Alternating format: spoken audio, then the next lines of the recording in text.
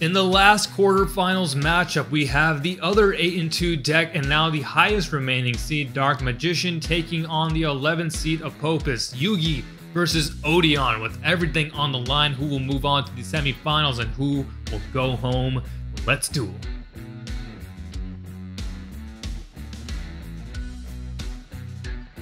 Dark Magician as the highest seed, the higher seed will open up with Dark Magical Circle, revealing three cards on the top of the deck. Gets to add a Dark Magician from among them. Will now activate Preparation of Rites to add Illusion of Chaos from deck to hand. That is a great card for the deck. I can now search out any of the non-ritual monsters that mention Dark Magician that he needs. We'll activate that Add Magician's Rod from deck to hand and place back a card on the top of the deck. Magician Rod normal summon will activate to add Magician Salvation from deck to hand. Magician Salvation will activate set an Eternal Soul from deck to the field. So if he's got Dark Magician in hand, he will be able to trigger Eternal Soul right away, which will then trigger Dark Magical Circle, which is huge against Odion's deck since he requires having to set spell and traps to get anything done. Set another card and end. So good opening for Dark Magician. Let's see what Apophis has. Pot of Prosperity, banishing six extra deck monsters face down to look at the top six cards of the deck, see which one he picks. We'll add Hand of Apophis and put the rest at the bottom. So Hand of Apophis will come in handy if Dark Magician tries to use Illusion of Chaos again set 1, set 2, set 3, and end, and yes, Dark Magician will activate Eternal Soul.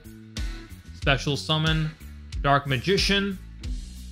Dark Magical Circle will now activate. He's gonna roll a dice and will banish.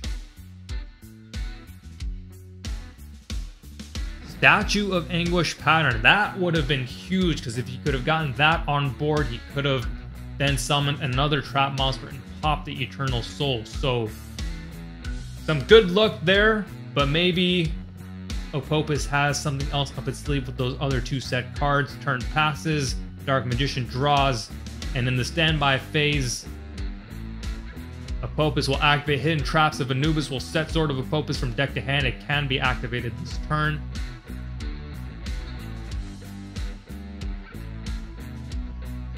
Dark Magician will try to activate Eternal Soul.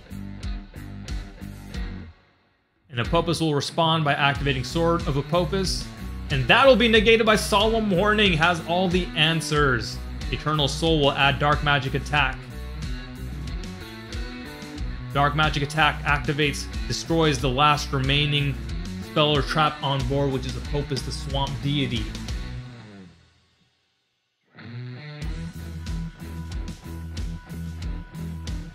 Going into the battle phase, Magician's Rod and Dark Magician deal 4100 ends the turn. Alright, so he didn't activate that Illusion of Chaos because he knows the opponent has Hand of Apophis in hand. Didn't want to try and draw that out and deal with the hand on board, so he goes ahead and takes the 4100, passes to Apophis. Apophis sets one. That is not looking too hot. Well, maybe it is. In the draw phase, he activates Spirit of Apophis to special summon itself as a monster and then set a Apophis trap from the grave. That'll be Sword, and it can be activated this turn. We'll then go ahead and not activate Sword just yet. We're in standby. In main one, we'll activate Illusion of Chaos. And Apophis will, of course, respond with Hand of Apophis, discard the sword in hand, and special summon the Hand of Apophis to negate and destroy Illusion of Chaos. And after that resolves, Apophis will summon Sword of Apophis as a monster and will destroy a card on each side of the field. We'll destroy the hand and we'll destroy the Eternal Soul. Eternal Soul will take down the other two monsters that are on the board and Hand of Apophis having been destroyed. will discard a card from the opponent's hand, but Dark Magician will change Soul Servant to place Magician's Soul on top. Let's see what gets discarded now. It'll be Illusion of Chaos. So he must have drawn a second copy, which is why he tried using it, despite the Hand of Apophis being there. Eternal Soul, of course, wipes off the field. But he's got Soul Servant in the grave, so he can banish it if he chooses to draw that Magician Souls that he just placed on top. This will be enough to get things going back for Dark Magician. Uses Magician Souls to send Dark Magician Girl from deck to grave. Will pitch the Magician Souls to special summon the Dark Magician that is in the grave, and Dark Magical Circles effect will activate. As well as Magician Salvation. Magician Salvation will special summon the Dark Magician Girl, and Dark Magical Circle will banish the Spirit of Apophis.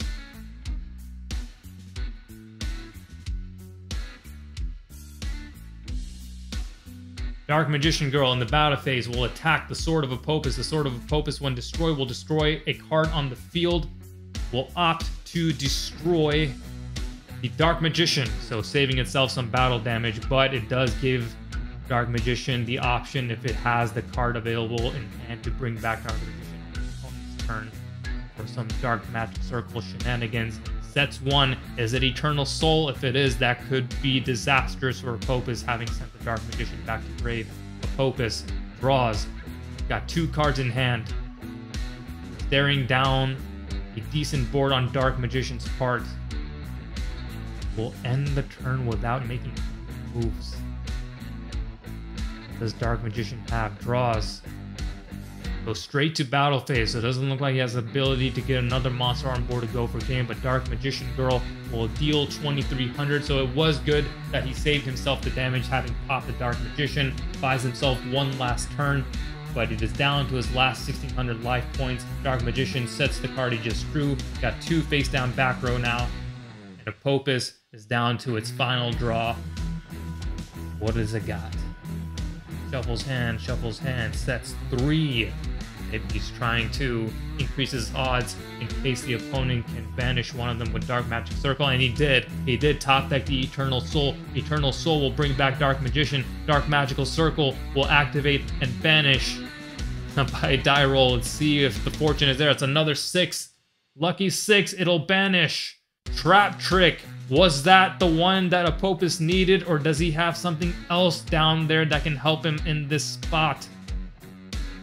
Dark Magician goes to battle phase, will try to end the game right here with an attack by Dark Magician, and he does. The Trap Trick was the card he needed. Dark Magician is able to pick it out and go for game.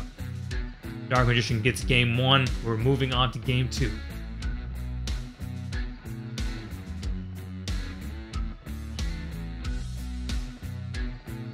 So Popus will open up this duel. We'll set one, set two, and end. We'll activate Hidden Traps of Anubis right off the bat in the draw phase. Set Chaos of Apophis from deck grave. It can be activated this turn. The intention of probably trying to block off some Magician Souls plays. But Dark Magician has Lightning Storm, destroy both back row, Chaos of Apophis and Sword of Apophis. Now he's got Illusion of Chaos, but that'll be negated by an Ash Blossom.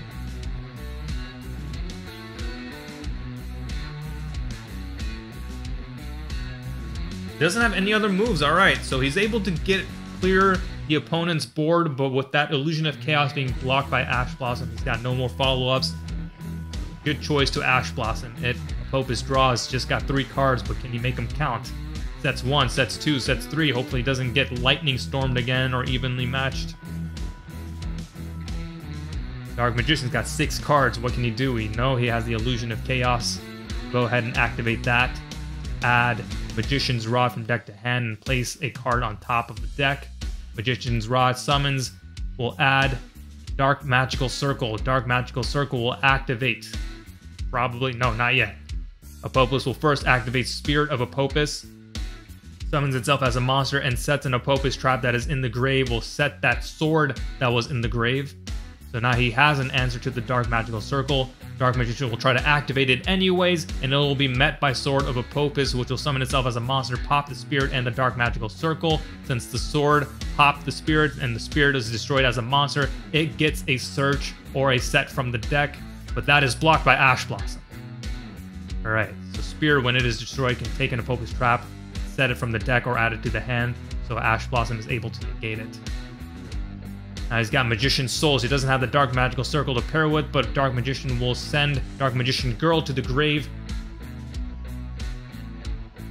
That'll be met with Chaos of Apophis. Chaos of Apophis will summon itself and banish a monster from the graveyard. It will banish the Dark Magician Girl.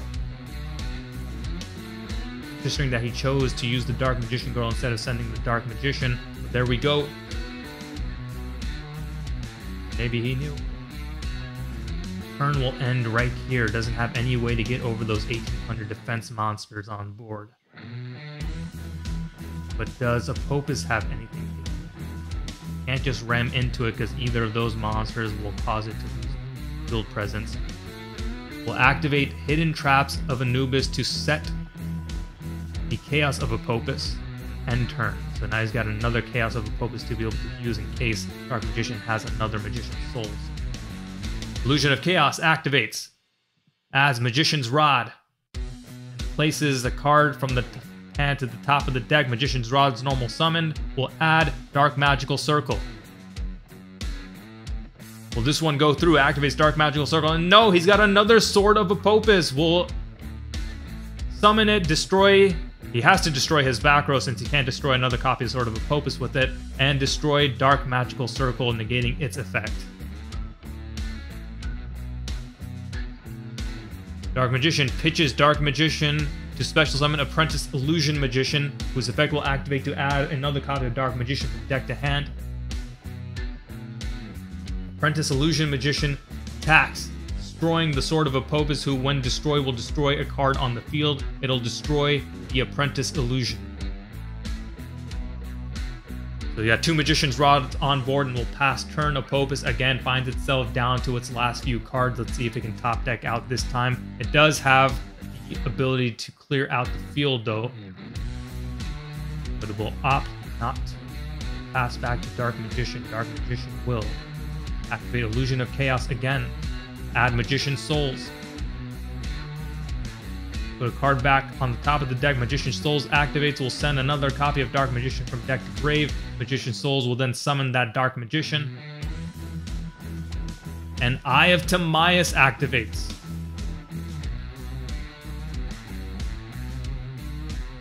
Will bring out Master of Chaos, who, when Fusion summoned and Eye of Timaeus is Fusion summoning it, can special summon a light or dark monster from the grave. Will bring out Dark Magician. Oh no, it will be blocked by DD Crow. Not what Dark Magician probably expected, hoping to build out that field presence, but Master of Chaos can still attack over the sword if it wants to, and it will. Sword of Apophis' effect will activate when it is destroyed. It will destroy the Master of Chaos. Those two Magician's Rods, are still on board, can deal 3,200, taking the first blood of Game 2. Apophis, down to two cards. What has it got? Nothing! Does the Dark Magician keep the Illusion of Chaos in the hand? If it did, yes it did. oh man, Apophis! He has Hand of Apophis that he can now use. He must, yes, he drew a Sword of Apophis and decided not to set it, decided to keep the Hand of Apophis, thinking Dark Magician would try to use Illusion of Chaos. He did, walks right into a Hand of a summon, destroys the Illusion of Chaos. Now the Magician's Rods can't get over that 1800 defense. What is the last card that he has in hand? It is a Set Speller Trap. We'll set it and end. Find myself saying this again. Can Apophis draw uh, himself out of this mess? That one and can at least hide behind that 1800 defense. Dark Magician will go to end phase where Apophis will activate Appointment with Anubis, and that will be negated by Ash Blossom. So I thought he had top deck something, but that is blocked. Can he top deck something else? No, he draws and ends. Dark Magician draws, sets one spell or trap and ends.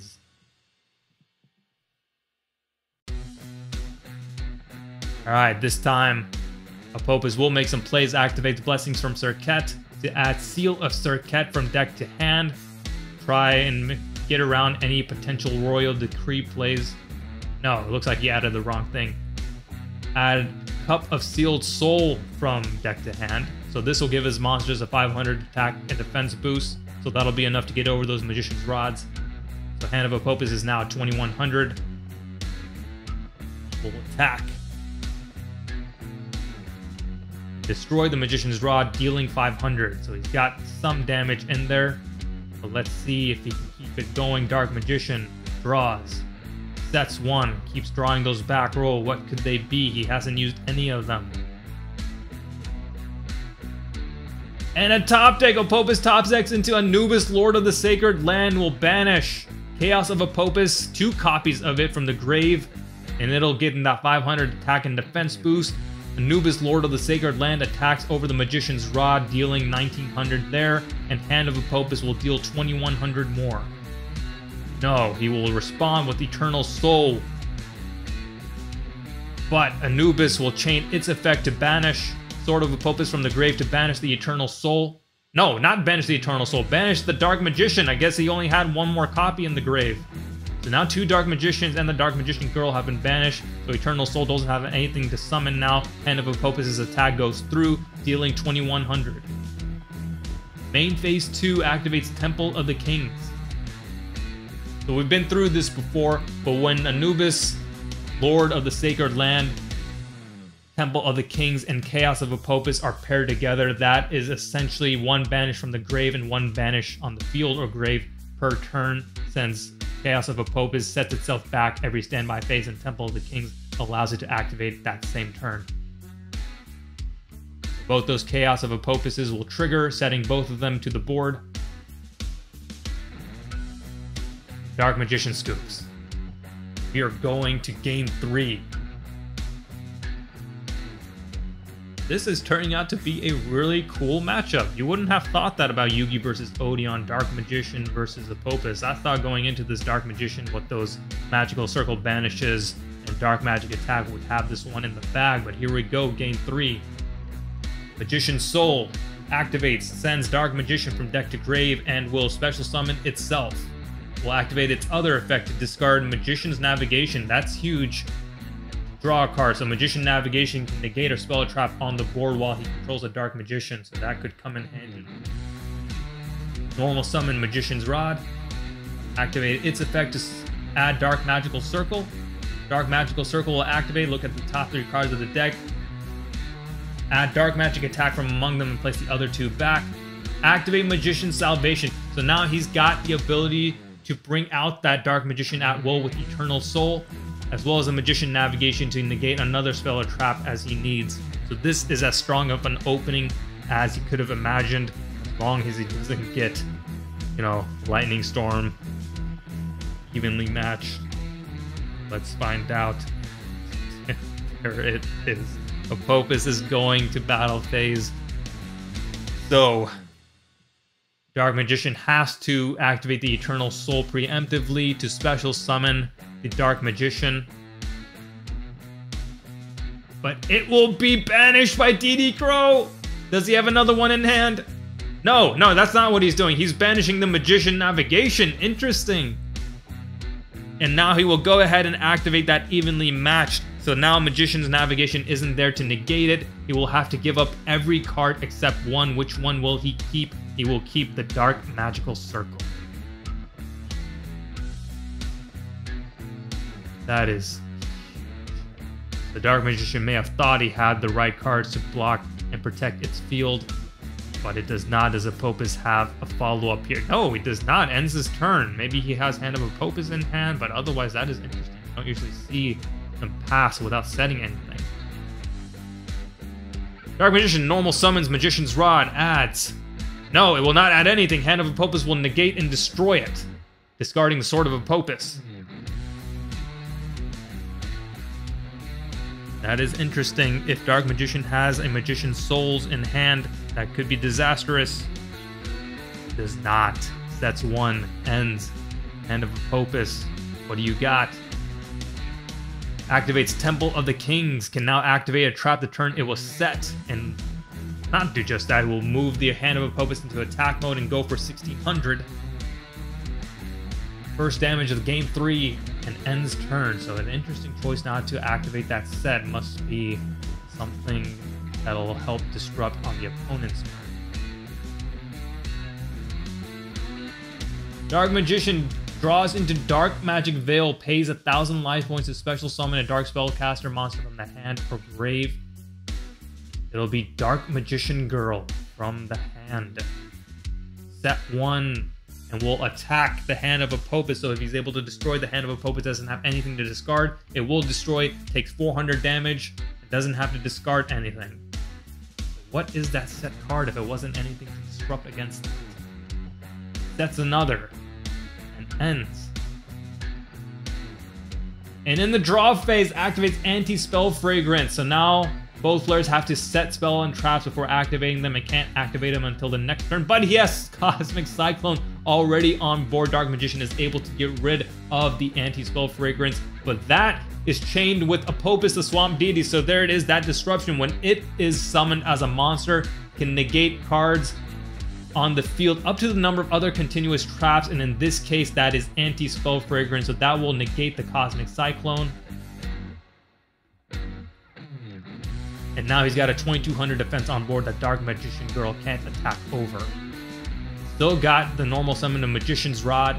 That is blocked with Ash Blossom. Wow. Like both players have an answer to everything that they try against each other. Apophis sets one, turns Apophis the Swamp Deity into attack mode and will attack the Magician's Rod, dealing 400, putting Dark Magician at 4,000 life points halfway there. Apophis still has 7,600 passes. Dark Magician draws. Goes straight to the battle phase. Will try to attack and crash both monsters. Both monsters are in fact destroyed. Dark Magician sets one and ends. What has it got? What has Apophis got? Blessings from Serket was set. Though he can't activate the card he just added, he has to set that too. That's two and activates Apophis the Swamp Deity right away. And that is chained with Solemn Warning. So the one monster that he had is negated by Solemn Warning. Will reduce Dark Magician down to 2,000 life points, but it would have taken 2,000 anyways if he allowed Apophis the Swamp Deity to come out in attack mode. Apophis passes. We know he has Seal of down. Does Dark Magician get what it needs? what it needs right now is probably like an Illusion of Chaos or Magician's Souls. But no, instead he gets a set spell or trap, sets it, ends. Doesn't even have a Dark Magician in grave. Alright, so Seal of Serket will activate now if Dark Magician has a Royal Decree. That won't do it any good. Set one and end. Is it a spell? Is it a trap? It's hard to tell with this deck. Mm-hmm.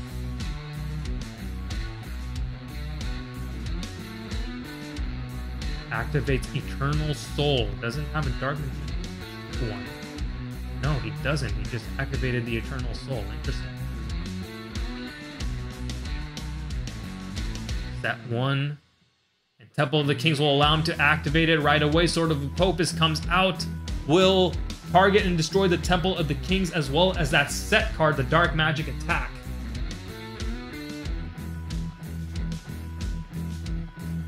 Sword of Apophis will deal 1600, putting him at 400. Dark Magician has 400 life points left against Apophis' 7600. Can he mount the comeback? Main phase 2 Blessings from Serket Graveyard ability activates banishing itself to add back the Temple of the Kings. Can't activate it though. and doesn't even set it. Interesting.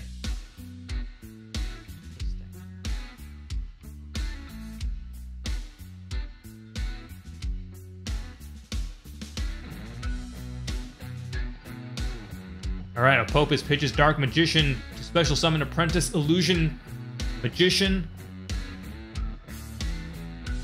We'll search out a Dark Magician. So now he's got two copies in case that one of them gets banished again. Eternal Soul will now activate. Special summon a Dark Magician. Dark Magical Circle will activate its ability to banish a card on the field. This could be just the comeback that it needed. Oh my god. Twin Twisters. Discard a card. That is why he didn't set that Temple of Kings back on the board because he needed the card to discard. Target two spell and traps will target the Eternal Soul and Dark Magical Circle. Eternal Soul is destroyed. It will send the Dark Magician and Apprentice Illusion to the grave. All he has left in hand is the Dark Magician. He doesn't have a Soul Servant in the graveyard. He doesn't have anything left to protect itself. Sword of Apophis will be able to go straight to battle phase and end the match right here. The 11th seed Apophis upsets Dark Magician. That means both the top two seeds have now gone down in the Cinderella stories of the 11th seed Apophis and 12th seed Jinzo. Both make it to the semi-finals. What a crazy match. This, like I said, this one turned out a lot better than expected, and Apophis is able to despite losing game one, come back and finish off Dark Magician. So now our semifinals are set. The top remaining seed, number 3 Toons will take on number 12 Jinzo in a matchup of Joey versus Pegasus. And number 7 Diabound will take on number 11 Apophis in a matchup of Bakura versus Odion. These are both rematches from the Swiss rounds, so will the trend of revenge games continue? Stay tuned for these semifinals.